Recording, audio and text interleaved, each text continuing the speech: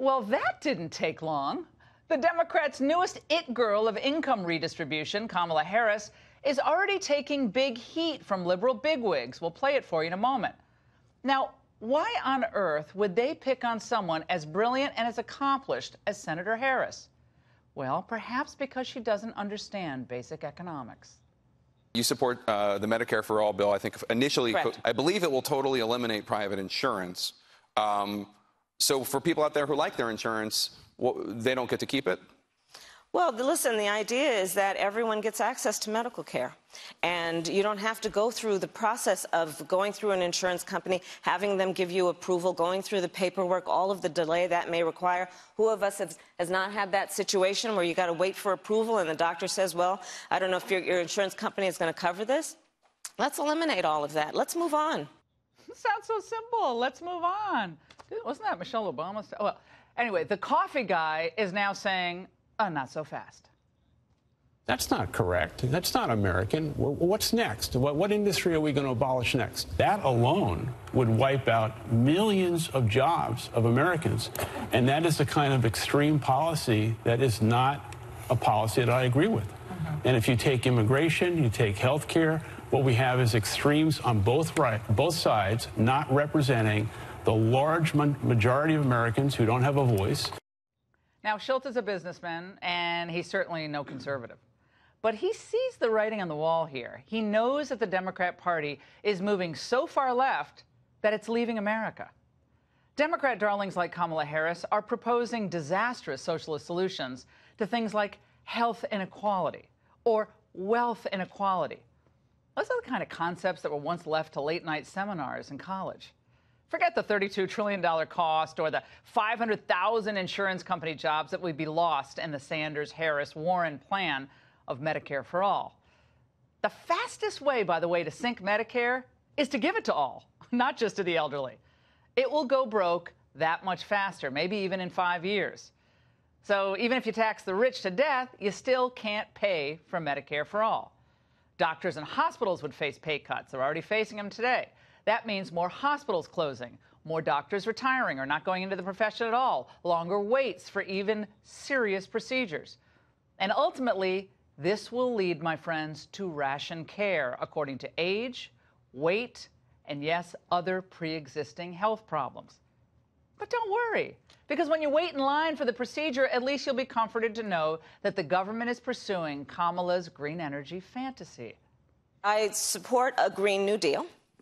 And I will tell you why. Climate change is an existential threat to us, and we have got to deal with the reality of it. We have got to deal with the reality of the fact that there are people trying to peddle some idea that we should deny it, and they are peddling science fiction instead of what we should do, which is rely on science fact. So, what does the Green New Deal mean for you and your family? Well, it means the government would reach in and control monitor, and tax even more aspects of your daily life than it does now. You love your car as much as I do? Mine's 19 years old. I still love it. Too bad. The Green Party's Green New Deal calls for replacing non essential individual means of transport with high quality and modern mass transit. This is kind of a geeky way of instituting a ban on cars. But who decides whether your car is a non essential individual means of transport? Hmm.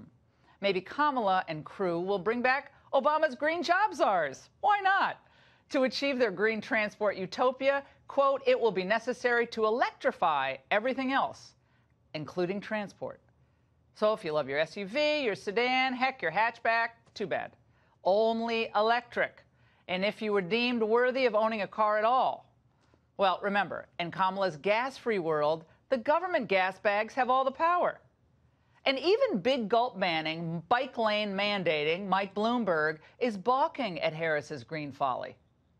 I'm a little bit tired of listening to things that are pie in the sky that we never are going to pass or never going to afford. I think it's just disingenuous to promote those things. You've got to do something that's practical. Now, that means banning all coal, banning all cars, banning all nuclear power, taxing miles driven, taxing kilowatts used, taxing water used. It would be all on the table to force Americans to bend to the faddish trends of the socialist left. Now, more power for them, less power, freedom, and prosperity for you. It's always how it works in a fully centralized economy. And this is what is lighting the Democrat Party on fire today, really? Instead of kibitzing with the NRDC, Kamala should have consulted first with, I don't know, Kermit. It's not that easy being green.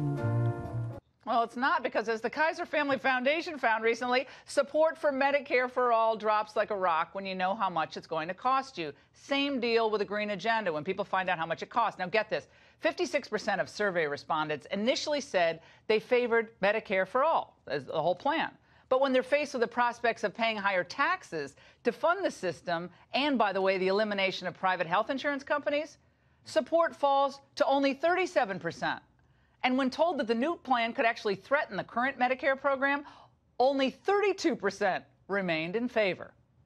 My friends, this is why it's so critical for the Trump administration, the entire cabinet, and the Republican Party to have a full court press of facts out there to educate vulnerable voters on the green economy issues, on Medicare for all, all of it. History shows us that socialist ideas are always easy to sell to uninformed, indoctrinated, and sometimes desperate voters. But it's impossible to fully fund. It never works. It's a false promise of free stuff forever. But as always, you eventually run out of other people's money. Kamala Harris, I don't know, would do better pursuing maybe a career as a DJ a song that has to be played loud because you have to hear the bass. The Sun is Shining by Bob Marley and the Wailers. Or maybe a backup singer. One nation under a groove, getting down just for the funk of it. Can I get it on the. Ah! Or I don't know, a voiceover artist? right?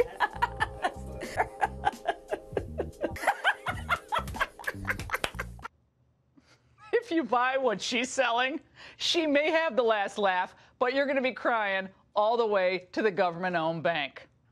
And that's the angle.